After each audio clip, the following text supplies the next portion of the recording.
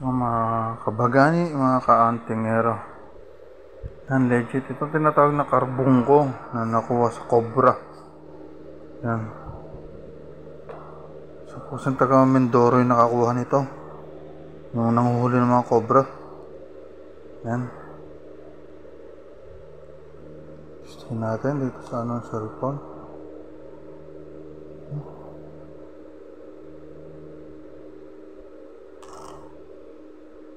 Kulay pula siya. Alam mo itim. Pula pala. Yan. Ang mutya ng cobra.